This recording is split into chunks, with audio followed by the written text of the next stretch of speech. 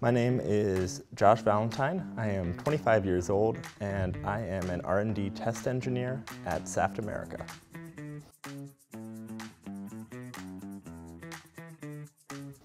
So by working in uh, battery cell development, I help design cells that will someday be used in grid storage and different high power applications that will directly help with uh, intermittency from different renewable energy sources and eventually work its way into electric vehicles.